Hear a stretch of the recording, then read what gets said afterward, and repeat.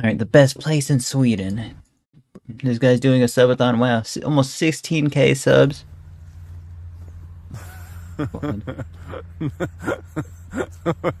Why is this so funny to me? I get it. I get it, guys. What if we kick, kissed on the corner of the Lule and Cock Road? Flush face, unless. Just kidding, unless.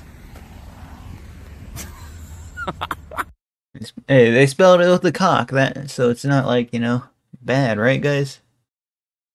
hey, it might mean something else. It might. It, it doesn't mean what you think, bro.